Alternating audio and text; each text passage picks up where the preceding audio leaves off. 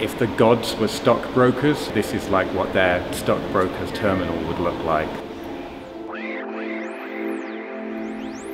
When you see the stars in the dome flicker, they are being fed by a real-time feed from most of the biggest stock markets in the world.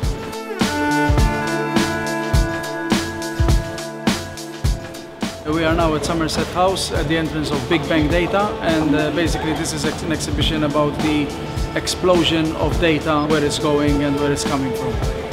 I'm standing in front of Black Shoals, which is a wonderful art piece. It really fits into Somerset House, into the galleries, into the architecture of the space. It looks absolutely beautiful.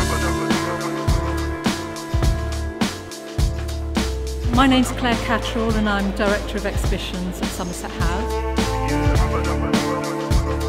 You'll see thousands and thousands of stars and every star represents a company on the, on the stock markets and when you see a little flick, flicker of light from that star you're seeing millions of pounds changing hands. We haven't been able to really show this project for quite a lot of years because it's been quite an expensive thing to build physical domes.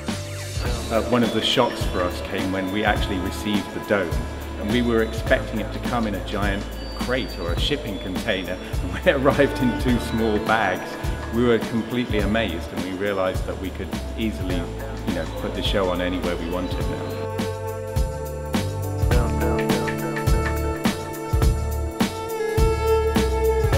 Everything's been so incredibly fast in how this came into being as an idea and as a possibility. Yes, it's been really fantastic working with Fulldome.pro. Would like to do it again.